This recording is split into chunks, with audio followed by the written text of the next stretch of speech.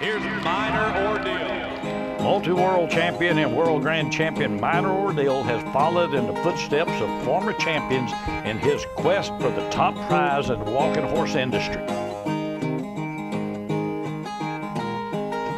With Tyler Balcom in the irons, Minor Ordeal will be going for the 2020 Tennessee Walking Horse World Grand Championship and ask for your support.